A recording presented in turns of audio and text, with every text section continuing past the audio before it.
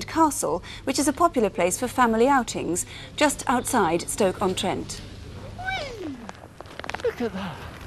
Look at them lovely fields. They're great. Steve Johnson was a kindly, unassuming young man. He was devoted to his family and would turn his hand to all kinds of odd jobs in order to earn money for them, especially with Christmas coming up. Have you ever been this high up before? Come on, Steve, let's go. He and his wife Kathleen had two small daughters. This is Mow Cop Castle, a beauty spot a few miles north of Stoke. It was just a short distance from here that Steve Johnson was murdered. Can you pick up at 125 Cornville Road for me? 45 Cornville, Roger. Going up to Hanley. Steve was training to be an insurance salesman during the day and worked nights as a taxi driver in Stoke. Hi, she? You alright, Doug? Hi, Steve, you're stuck, are you? Yeah, fine. Uh, what car am I in tonight, love? You're in Bravo 5, it's in the yard, Duck. Okay. See you later then. All right, Ta. Steve, try, Duck.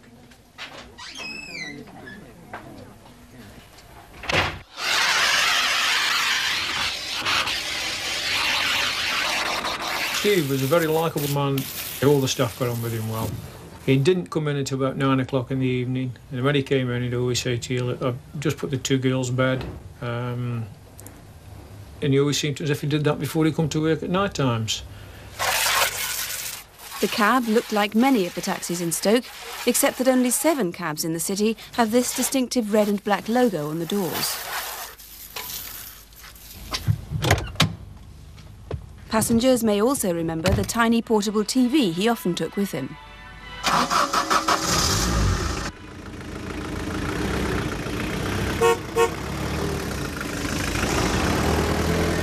With just four days to go now before Christmas, Friday the 21st of December was a busy night for the taxi trade. Steve was working solidly all evening.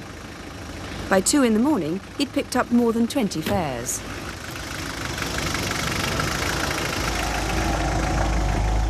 His last identified fare was at around three in the morning when he drove this young woman home in the Longton area of Stoke. A dance club called Shelley's is near there. Shelley's is packed tonight. Yeah.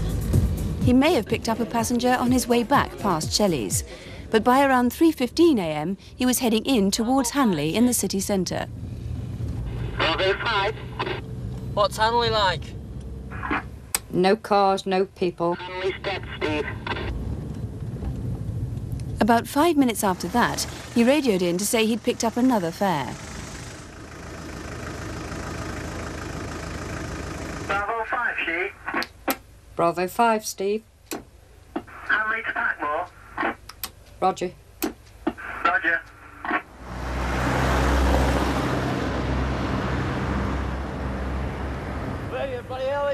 Sometime before four in the morning, two villagers in Packmoor were woken by what seemed to be an argument on the corner of Lordshire Place.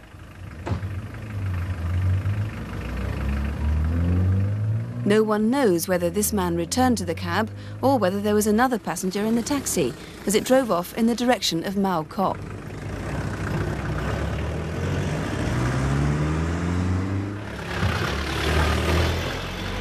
A resident in Mow Cop remembers hearing a car in the early hours labouring up the hill on Castle Road.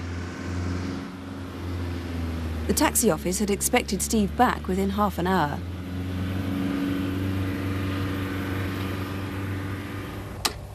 Bravo 5, Steve.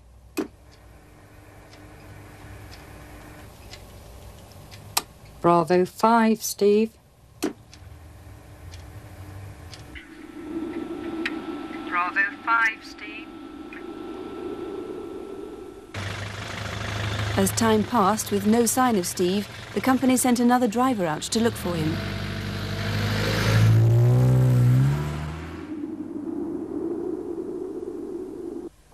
Five, Steve. If you can hear me, give me a ring.